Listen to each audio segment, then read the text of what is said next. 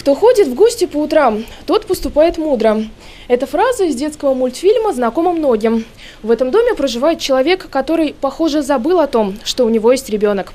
Обычно судебные приставы выходят в рейд с утра пораньше. Так велик шанс застать должника дома.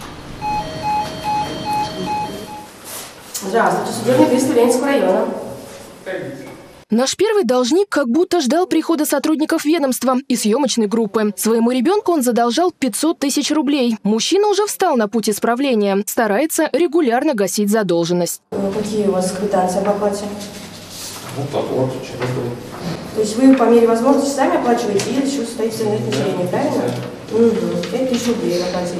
На втором адресе нас встретили не так радушно. Долг, который составляет несколько сотен тысяч, мужчина оплачивать не собирается, а в показаниях путается. Я работаю, я работаю всегда, я деньги Вы заработаю. работаете официально? В смысле?